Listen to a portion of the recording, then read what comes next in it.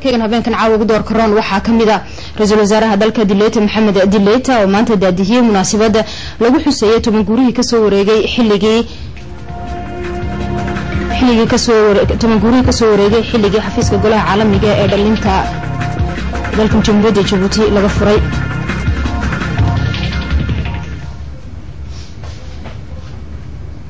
guddiga qaran ee madaxa bannaan ee seniya ayaa booqasho howleed waxay ku tegeen gobolka carta iyagoo soo kormeerayay sidaa u socdaan waraaqa bixinta xagga codbixinta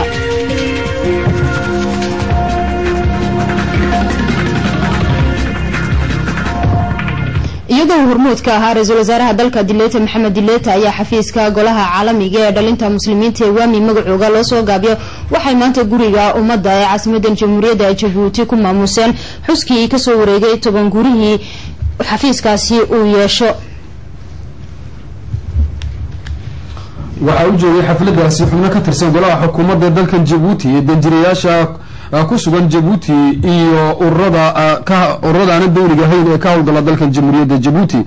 Intii ay socotay xafladaasi lagu xuseeyey sanad gurihii tobanaad ee ka soo wareegay xilligii laga asaasay ururka caalamiga ee dhallinyarada muslimka dalkan jabuuti uu xafiis ka furtay. Waxa ay soo bandhigeen kooxda al-khuluud ee ka timid dalka yemen heeso ay ku boorinayaan dadka howlaha samafalka xafiiska waami ayaa intii uu ka furtay dalkan jamhuuriyadda jabuuti xafiiskaasi. Dadaal ku bixiyey sidii gargaar ugu fidini lahaa dadka saboolka ah ee reer jabuuti ugana taageeri lahaa shicibka dhibaatooyinka la xidhiidha abaaraha faqriga xanuunada iyo waxbarashada waxa uu gaadhay kharashka uu ku bixiyey ururkaasi caalamiga ee dhallinyarada muslimka howlahaasi sannadkii aynu soo dhaafnay ee labadii kun iyo tobankii lacag dhan sideed iyo konton sideed iyo konton malyuun toddoba boqol toddobiyo afartan kun lix boqol iyo konton faran khudbad haddaba uu munaasabadaasi uu ka soo jeediyey agaasimaha xafiiska awaami ee dhallinyarada muslimiinta ee caalamiga ah maysara moxamed yuusuf sayf waxa uu sheegay in ay ka badan tahay boqolkiiba lixdan tirada dhallinyarada ee ku nool dunida muslimka. Marka dalalkooda loo eego waa sida ay sheegtay buu yidhi warbixinta rasmiga ah ee ay soo saartay qaramada midoobay haddaba haddii ay tirada dhallinyaradu ay gaarsiisan tahay intaasi annagoo og in dhallinyaradu ay tahay udubdhexaadka bulshada kaste waxaan aragnay in ay u baahan yihiin dhallinyaradu gargaar dhinacyo badan leh oo ay ka mid yihiin tacliinta caafimaadka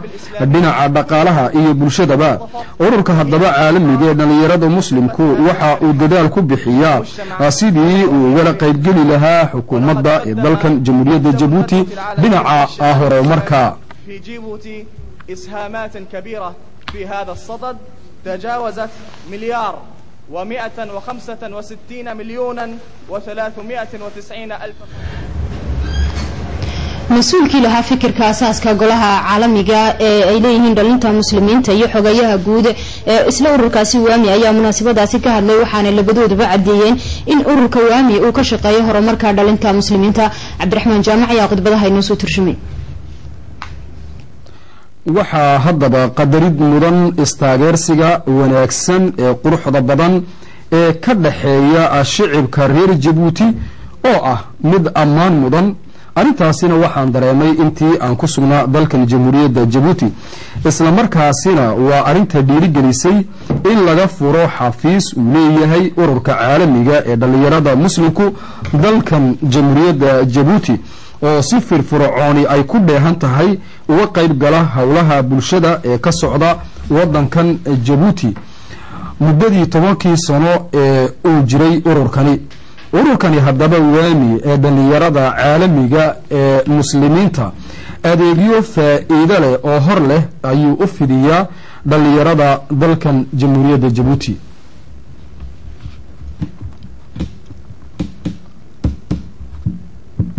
geergaarka taageeradaasi oo dhinacyo fara badan iyadu xambaarsan oo noqon karta oo ah dhinaca tacliinta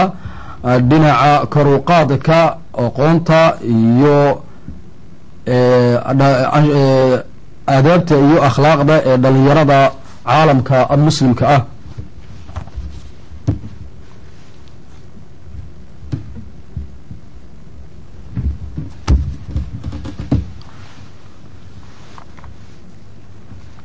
waxaa haddaba taasina waxa ay ku timiday xidhiirka wanaagsan ee ka dhexeeya dalkan jamhuuriyadda jabuuti iyo boqortooyada sacuudiga oo xidhiirkaasi oo aada iyo aada u fiican oo walaaltinimo ay ku dheehan tahay. ah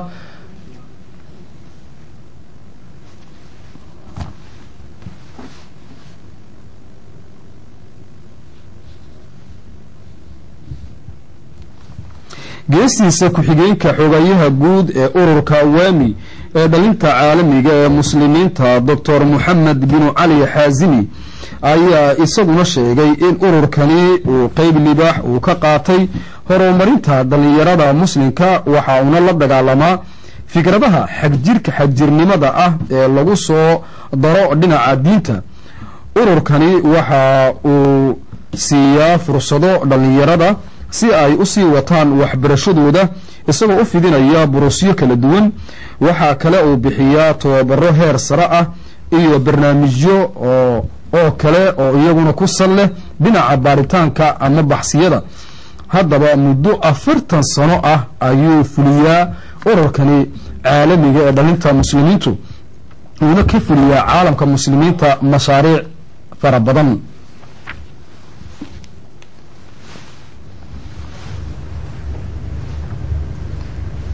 ra'iisul wasaaraha dalka dileeta maxamed dileeta ayaa khudbadu munaasabada ballaadhan ka jeediyey waxa uu ku muujiyey sida ugu faraxsan yahay inuu ka qayb qaato munaasabadan isagoo gees kalena xus wanaagsan u rajeeyey xafiiskaasi golaha caalamiga ee dhalinta muslimiinta ee waami ee dalkan jamhuuriyadda jabuuti. Cabdiraxmaan jaamac ayaa khudbadii ra'isul wasaaraha inoo haya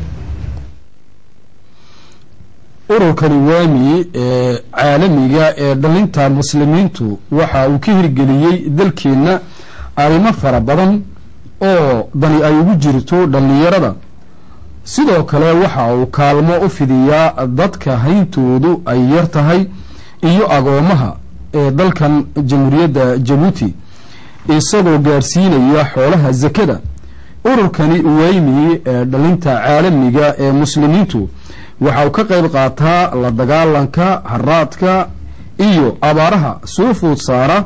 goobaha reer baadiyaha isagoo ka hirgelinaya deegaanadaasi mashaariic oo ay ka mid yihiin ceelalsha biyaha laga cabo oo uu ururkaasi uu ka qodo goobahaas. Anigoo haddaba ka faa'iidaysanaya munaasabadani qaaliga ah waxaa ammaan mudan xidhiirka walaaltinimo ee heerkiisa ugu wanaagsan ee ugu fiican maraya ee ka dhexeeya dalkan jamhuuriyadda jabuuti iyo boqortooyada sacuudiga. Waxaanan u sii rajeynayaa ururkani weymi horumar hor leh oo intaasi ka sii badan oo uu ka hirgeliyo dalkan jamhuuriyadda jabuuti haddaba gabagabadii munaasabada waxaa abaalmarino loo qaybiyey qaar ka tirsan wasiiradii iyo mas'uuliyiintii kale ee iyagu si aada uga qayb qaatay hirgelinta qabanqaabada xuska tobnaad ee ka soo wareegay xilligii jamhuuriyadda jabuuti laga furay xafiiska uu leeyahay golaha caalamiga ee dhalinta waddamada muslimka. Ra'iisul wasaaraha dalkan jamhuuriyadda jabuuti munaasabada uu saaka daadiinaya ee la xidhiidhay xuska tobnaad ee ka soo wareegay xilligii la asaasay amaba la furay golaha caalamiga ee dhalinta waddamada muslimka ee jamhuuriyadda jabuuti xafiiska laga furay wasiiradii munaasabadaasi u joogay iyo weliba mas'uuliyiin kale ayaa iyaga waxaa gacanta laga riday hadiyado la xidhiidha kaalinta ay ka qaateen qabanqaabada xuskaa tobnaad ee ka soo wareegay ururkaasi waami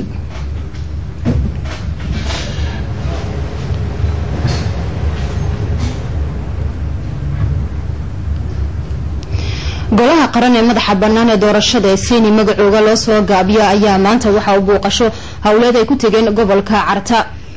guddiga qaran ee madaxa bannaan ee doorashada ee seeni magacooga loo soo gaabiyo waxaa horkacayay gudoomiyaha guddigaasi mudane casoowe idris casoowe waxaanay buuqasho howleed ku tegeen gobolka carta oo halkaasi ku soo indhaindhaynayeen goobaha codbixinta ee gobolka carta iyo weliba sida ay howluhu uga socdaan halkaasi mudane casoowe idris casoowe waxaa loo soo bandhigay oo gudoomiyaha gobolkaasi carta mudane xasan dharaar huufane uu micno dheeraada ka siiyey sida howluhu u socdaan golaha rugta golaha maamul goboleedka gobolkaasi carta ayaana munaasabadaasi ay ka qabsoontay. Waxa uu soo indhaindheeyey goobta laga qaato waraaqaha codbixinta ee gobolkaasi carta iyo weliba howlwadanadu sida ay u wadaan hawsha ayaa uu macluumaad dheeraada ka soo helay gudoomiyaha guddiga seni mudane casoowe idriis casoowe.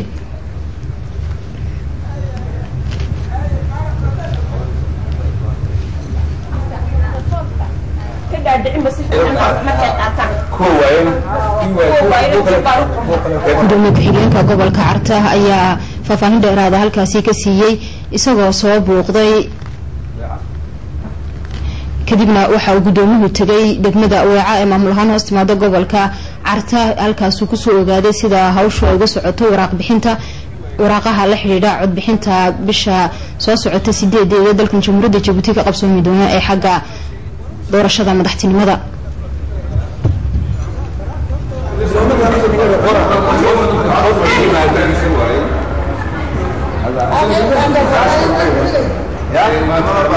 anu waxaan ahay cabdillahi wacaasi ashab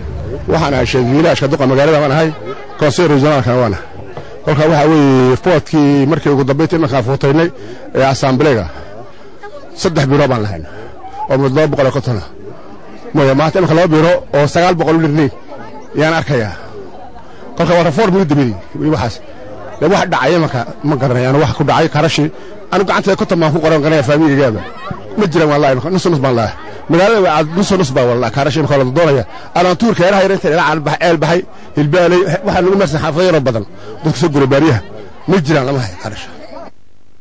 farmasiigii independence ayaa ka guuray wadadii lagu yaqaanay waxaana u guuray waddada loo yaqaano rio de topi haddaba munaasabada arinkaasi la xidhiidha ayaa waxaa maanta lagu qabtay rugta cusub ee farmasiigaasi uu ku leeyahay magaala madaxdan jamhuuriyadda jabuuti booq ayaa faalada warka inoo haya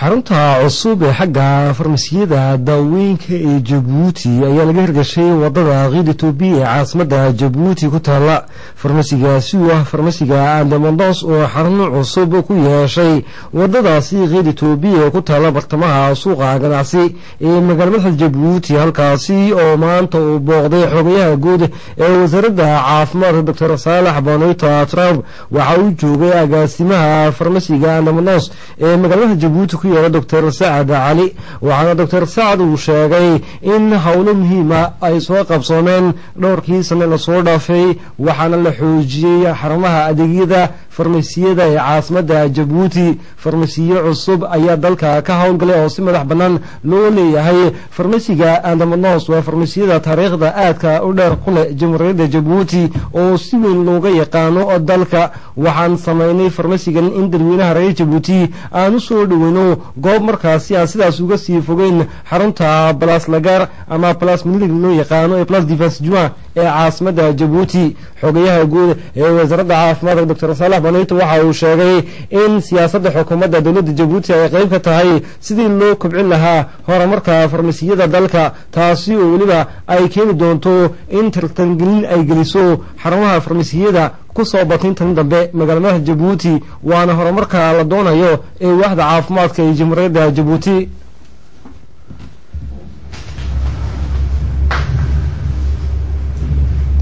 munaasabad diiniya oo la xidhiidha ka hortaga gacanka hadalka iyo anshaxumada oo uu daadihinayay sheekh abubakar xoosh ayaa habeenkii xalay waxaa lagu qabtay. Xarunta horumarka bulshada ee xaafadda saddexaad aweyskaasi diiniga ay ka soo qayb qaateen mas'uuliyiin aada u tiro badan uu ka mid ahaa duqa magaalo madaxda mudane cali ismaaciil iyaabe waxaa looga gol lahaa in dhalinta laga reebo waxyaabaha anshaxumada lagana waaniyo wixii xun ee dhibaatooyin dhalinta u keensanaya. Sheekh abubakar xoosh ayaa munaasabadaasi daadihinaya waxaana u joogay duqa magaalo madaxda aayado qur'aan ayaa sidii caadada ahayd lagu furay xuskaasi munaasabadaasi diiniga ee ka dhacday xaafadda saddexaad mas'uuliyiinta gudoomiyaha sadesiga xaafadda saddexaad iyo weliba oo munaasabada ka hadlay ayaa isagu waxa uu sheegay in tallaabadan ay tahay mid aada u wanaagsan oo dhalinta lagaga waaninayo waxyaabihii anshaxumada geestiisa gudoomiye geestiisa duqa magaalo madaxda mudane cali ismaaciil iyaabo oo isagu halkaasi ka hadlay ayaa waxa uu cadeeyey in waa dal maaragtay aada dalkeena maxay ahayd aad saaxiibuun yihiin dadka dhibaataa ku timiday dhibaato xoogle ayaa ku timiday waxaan leenahay dadka inaa loo duceeyo in ilaahay dhibaatada maaragtay uu uu uu ka qaado wax ka wanaagsan ugu bedelo ayaanu u baryaynaa. Halkan waxaa caawa aniga fursad ay tahay inaan dhagax tuurka xaafadaha ciyaalkeenna kuwa kalani ay isku hayaan dhexdooda ay is jiraan xaafadiin ay ku rabisheen amaankii ay halis geliyeen. Ayaa halkan caawa maxay ahayd? Muusuhu taawiyo waxaan nagaraadayo haddaba wariye mustafe ibraahim sawiye ayaa inoo soo ururiyay qaybtii ugu muhiimsanayd ee muxaadaradii sheekh abubakar xoosh uu ka jeediyey munaasabadaasi xaafadda saddexaad lagu qabtay ee la xidhiidhay ka hortaga anshaxumada dhalinyartu waxaa la yidhaahdaa waa rijaalulghad waa ragga beritoole la sugayo. Ragga maamuli doona waddanka waa dhallinyarta maanta joogta ummadna waxaa lagu gartaa horumarkeega iyo mustaqbalkeega astaamaha lagu garto inay ummaddaasi ay horumar ay gaadhi doonto mustaqbal fiican ay yeelan doonto. Waxaa la eegaa dhallinyarteeda haddaad aragtid dhallinyarteeda oo si wanaagsan u fikiraysa wax baranaysa waxaad ogaataa ummaddaasi horumar bay gaadhi doontaa meel bay gaadhi doontaa mustaqbal fiican ayaa u sugnaan doonaa laakiin haddaad ogaatid ummad tacliinta dhallinyarteedu ay ku liidato aan isjeclayn aan mustaqbalkooga aan ka fikirayn waxaad ogaataa ummaddaasi halis bay mustaqbalkaygu ayuu ku jiraa. Marxaladdan dhallinyarnimadu waxay culummadu ku tilmaamaan waa marxalad u dhaxaysa bayna dacfayn. Laba marxaladood insaanku saddex marxaladood buu soo maraa. Marxalad wuu yar yahay waa ilmo yaroo nuunuuya. Marxaladna waa dhallinyar xoog leh. Marxaladna waa qof weyn. Idan marxaladdan dhallinyarnimadu waxay u dhaxaysaa marxalad addacfayn. Laba marxaladood uu qofku uu tabar yar yahay. Mar waa ilmo yar waxba ma qabsan karayo. Marna waa qof waayeelo oo oday ama islaan aan waxba qabsan karayn oo qarqarhaya weeyaan. Wakhtiga uu qofku wax qabsan karo waa marxaladda uu dhallinyarta u yahay weeyaan. Axbaabi fillaah dhagax aad tuurtay war uma haysid meeshu ku dhacay. Waxaa laga yaabaa siduu u soo socday wiil yar oo dhallinyaro oon dhagax tuurayn oo hooyadii intay u dirtay dukaanka oy tiri oradoo wax nooga soo ibi oo mustaqbal sugayey oo sugayey ma og tahay inuu ummaddiisa anfaco hooyadii anfaco? Waxaa laga yaabaa inay ilmahaasoo qurata lahayd. Ayaad ku soo turto wejiguu kaga dhacay. Uu ilbeelay maya wuu ku dhintay. Maya dhib baa heshay maxaad ka heshay adugu maxaad ka faa'iiday? Markaad midida qaadanaysideed ku eryanaysid qofkan dhallinyarta ah maxaa dhacay? Maxaa keenay inaad dishid imisaa dhimatay dhallinyartaynii maxaa loo dilay? Mid walaalkiyaa dilay. Waa lagu weydiiyey qiyaamaha maxaad samayn markuu qiyaamaha yimaado isaga oo dhiiggii uu ka yaacayo uu ku soo jiido uu nebi moxamed hortiisa ku keeno oo nebi moxamed ku eegayo oo ummaddii ku eegayso oo yidhaahdo yaa rabbi ilaahayow muxuu ii dilay. Salhu lima qatalanii muxuu ii dilay. Ilaahoo weydii muxuu ii dilay ilaahu dhiigga iga yaa muxuu iga yaaciyey weydii maxaad odhan maalinkaas. Aduu dhagax yar baad iska tuurtay. Waru maad ahayn meeshu ku dhacay. Meeshuu ku dhacay. Islaan yaroo jaad dul fadhida baad weeb kaga siisa waad ka nixis. Oday yaroo masaajidka ku sii socday baad dhinac kale ugu rogtay. Ummadaad ku baabi'isay. Dhagaxan aan tuurayno maxay faa'iide ay leedahay? Waan erinay ciyaalkii baan erinay ma faa'iidaa faa'iide maaha. Ammaanka aan ku jirno waa nicmad ammaanka aan ku jirno waana la weydiin doonaa qiyaamaha. Ammaan baan ku jirnaa nicmad baan ku jirnaa bulshada xaafadda lixaad ayaa habeenkii xalay dugsiga ccbs isla xaafadda ku yaalla waxay kaga soo qayb qaateen tallaabo muhiima oo la xidhiidhay taageero loo fidinayay laba dhalinyaro ah oo ku curyaantay isku dhacaasi dhalinta xaafadaha marmar dhex mara maxamuud barabookh ayaa faalada warka inoo haya dhammaan dadweynaha ku dhaqan xaafadda lixaad ee caasimada jabuuti ayaa habeenkii xalay waxa ay ku kulmeen sabadka dugsiga xaafadda lixaad ee csbs waxbarashada hoose xaafadaasi lixaad si ay uga qayb qaataan tallaabadii labaad ee noocaasi lamida istaageersi oo lagu caawinayo laba dhalinyaro ah oo u dhashay xaafadda lixaad ee magaalmaha jabuuti oo dhaawacyo ay ka soo gaadheen kuwaasi oo ku naafoobay caweyskaasi oo ay soo qabanqaabiyeen orarka howlaha istaageersiga ee j p s loo yaqaano ee ka howlgala xaafadda lixaad ee caasimada jabuuti iyo ururka dhalinyarta oo jirhaaneed ee collective dejan loo yaqaano. Mas'uuliyiin kala duwanaa ayaa habeenimada xalay ku kulmay caweyskaasi xaafadda lixaad ee caasimada jabuuti ka qabsamay. Hadallo kala duwan ayaa laga soo jeediyey waxaana ka mid ahaa duqa magaalmaha jabuuti mudane cali ismaaciil yaabe iyo gudoomiyaha urarka wadarhaaneed ee collective dejan loo yaqaano doctor jaamac cilmi cokiye iyo weliba gudoomiyaha urarka howlaha istaagarsiga ee j p s loo yaqaano mudane cabdulqaadir axmed ciidamada booliska ayaa gacanta ku dhigay wiil dhalinyar ah iyo afariyo toban qof oo kale oo loo qabqabtay dilkii wiil dhalinyar ah oo lagu dilay afariyo tobankii bishan aynu ku jirno xaafadda toddobaad. Eedeysanahan ayaa la horgeyn doonaa maxkamadda gees kalena sida dadka la soo qabqabtay waxa iyagu la horgeyn doonaa maxkamadda lieutenant colonel cumar xasan oo ka tirsan saraakiisha sarsare ee booliska ayaa arinkaasi faahfaahin inaga siinaya bishan aan ku jirno iminka afariyo tobankeedii saacaddu markay ahayd tobankii habeenimo waxaa nin midi lagu geliyey avinu nasir. Ninkaasuu geli jiray xaafadda toddobaad dhowr daqiiqadood kadib markii la geeyey dhakhtarka weyn ninkaa midida la geliyey uu dhintay. Booliisku markiiba wuxuu galay howlgal aada u ballaaran. Sidii uu u soo qaban lahaa dadkii geystay dembigaas baaritaankii ugu horreeyey waxaa ka soo baxay inay dilkaa geysteen dhalinyar gasha xaafadda lixaad. Baaritaankii ballaarnaa ee booliisku ku dhaqaaqay. Waxaa ka soo baxay guul baa ka soo baxday. Maadaama afar iyo labaatan socod in ka yar aan soo qabanay shan iyo toban qof oo ku jiray dembigaasi dilka waxaa ka mid a dadkaasi la soo qabtay dembilayaasha ninkii isagu gacantiisa dilka ku geystay ninka dhintay muddida geliy aniguu ka faa'idaysanaya fursaddani waxa aan fariin u dirayaa dhalinyaradan iminka ayaamaha dambe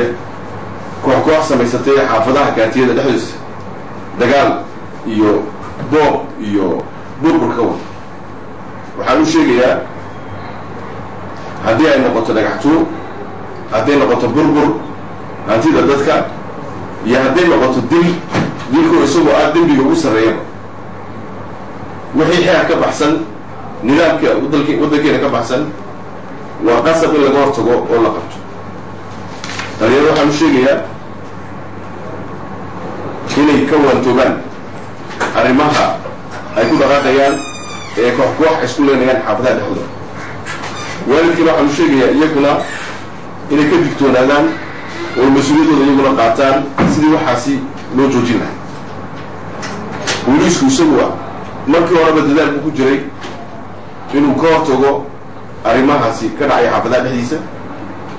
iminkana booliisku waa kan ku guulaystay inuu gacanta ku dhigo ninkii geystay dilkaas booliisku markaa hawshiisii wadi doonaa sidii u sugi lahaa ammaanka shacibka iyo hantidooda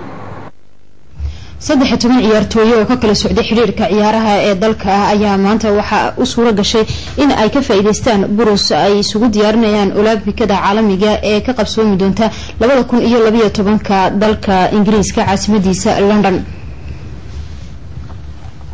guddiga qaran ee ciyaaraha olombikada ee jabuuti ayaa maanta waxa ay israsmi ay u dhaqaajiyeen qaybinta lacagaha baroska ee loogu talagalay waradanada reer jabuuti waxaana lacagahaasi ka faa'iidaysanaya ilaa saddex iyo toban ciyaartooy oo reer jabuuti oo ka socda afar laamood oo xagga ciyaaraha isboortiga dalkeena u qaabilsan. Sida qeybta ciyaaraha orodada ee atletismiga loo yaqaano qeybta ciyaarta miiska dusheeda ee kubadda tenista taabalka loo yaqaano ciyaarta tabcada ee jiidooga iyo ciyaarta dabaasha ee naataashada loo yaqaano. Waxaa ciyaarahaasi kala duwan ay keeneen in saddex iyo toban ciyaartooyo oo reer jabuutiya ay ka faa'iidaystaan in lacago buras ay helaan iyagoo tegi doona dhinaca daadadka degmadani aynu ku noolnahay siba kuwa qaaradda afrika iyo kuwa caalamka. Waxaana ka mid a orodiyaankii ku guulaystay orodkii shan iyo tobanka kilomitir ee jabuuti ka qaabsoomay. Kaalinta labaadna soo taagay orodkii qeybtii shan iyo tobanaad ee orodka nasmaratooga ee jabuuti ka qaabsoomay dhowaanta waa muumin geene orodyaankaasi oo ka faaidaysanaya in tababaro ku soo qaato dhinaca dalka ingiriiska isagoo u sii tabaabulshaysan doona sida ay sheegtay gudoomiyaha laanta xidhiidhka iyadoo qaabilsan xagga olombikada dalkeena marwa caaisha cali igraad in halkaasi u sii tabaabulshaysan doono ciyaaraha olombikada ee sanadka labada kun iyo labaiyo tobanka dalka ingiriiska ka qabsoomi doona gudoomiyaha xidhiirka orodada ee dalkan jamhuuriyadda jabuuti mudane maxamed axmed sheekho ayaa inooga waramay buruskaasi iyo weliba sida looga faa'iidaysanayo waa maalin federation jibuutiyanku ay ku faraxsan tahay comité olympique baan siiyey quatre bourses quatre boursekiina waxaan siinay le meilleurs athlètes jiboutiens waxa waxaa looga jeedaa waa si loo réaliser lahaa le minima international sida championnat du monde-ka iyo jeux olympiques in quatre cinq athlètes aan u geynahayn taasina waa sharaf ugu sugayatay atletismka jibuuti waana ku faraxsannahay waxaan kaloo doonayna u sheegay shacibka reer jibuuti haddoo toole waxaan isku konsakreynaa shantii kun tobankii kun mille cinq cent-ga huit cent-ga quatre cent-ga waxaa yar bay barakada ku jirtaa wixii waaweynaa waan iska joojin doonaa waxaan doonaa inaan adduunka ka ciyaarno meel fiican ordada gaaban baan meel fiican kaga ciyaar karaynaa ordada gaaban baan iska barakaysanaynaa. Caways istaageersi ah oo lagu guddoonsiinayay dhallin ku soo guulaysatay ama tartano kubadda cagta ka qayb qaadatay ayaa ka qabsoomay oo loo qabtay miniinka ayaa xaafadda lixaad ka qabsoomay ciyaartaasi kubadda cagta ah. Waxa ay ciyaartaasi kubadda cagta waxa ay iska horkeentay dhallin aada u yaryar oo iyagu ah mustaqbalka xaafadda lixaad. Dhalinta collective de jean iyo weliba gudoomiyaha ururada ka jira xaafadda lixaad cuqaasha iyo weliba. Mudane cali ismaaciil yaabe duqa magaalo madaxda ayaa dadkaasi ama dhalintaasi kooxaha miniinka waxa u qaybiyeen bilado abaalmarina dhalintani waxaay ka qayb qaateen tartano horey loo qabanqaabiyey oo ay iyagu kaalmaha hore ka soo galeen kooxahoogu ururka heerka degmahaaneed ee ka jira xaafadda tajoora oo la kaashaday xidhiirka jabuuti ee ciyaaraha fudfudud ayaa maanta waxa uu qabanqaabiyey qaybtii labaad ee orodada lix kilomitir oo lagu soo xulinayay dhalinta orodada ku wanaagsan tartankaasi oo ka qabsoomay dalka ka qabsoomay gobolka tajuuraan idhaahdee waxa uu ahaa mid toddoba boqol oo dhalina ay ka qayb qaateen oo ka kala socday gobolka tajuura xarun goboleedkiisa iyo weliba degmooyinka hoos yimaada tajuura mas'uuliyiin ka kala socotay maamulka tajuura ururka ciyaaraha qaabilsan ee federationka gobolka tajuura iyo weliba dhalinta soo qaban qaabisay orodkaasi. Ayaa orodkaasi oo ahaa lix kilomitir. Waxaa kaalinta hore soo galay axmed daa-uud oo isagu laba midhir iyo shan iyo toban ilbiriqsi keenay. Kaalinta labaadna ee isla juniorkaasi waxaa soo galay axmed maxamed. Qaybta kaadeega shan kilomitir ayaa orodkaasi uu ahaa. Waxaana kaalinta hore soo galay cabdalla xumed. Kaalinta labaadna waxaa soo galay diini cali orodadaasi ayaa u kala qaybsanaa juniorka kadeega miniinka oo isugu jira waxaana ahayd mid lagu soo xulinayo dhalinta ku wanaagsan orodada ee gobolka tajuura abaalmarino ayaa gabagabadii munaasabadaasi loo qaybiyey dhalintii kaalmaha hore soo galay. Kadibna munaasabadaasi waxaa dhalin iyo dhalintaasi rag iyo dumar isugu jira loo qaybiyey abaalmarintaasi munaasabadaasi oo iyagu ay uga mahad celiyeen mas'uuliyiintii soo qabanqaabiyey sida wanaagsan ay u hirgashay. Qodobka ayaynu daawadayaal ku soo gabagabeynay warkayga habeenkan caawa xagga telefishinka intaan dib u kulmi doono cabdiraxmaan jaamac suwe iyo maxamuud barabooq ayaa igala qayb qaatay. Assalaamu calaykum waraxmatullaahi wabarakaatu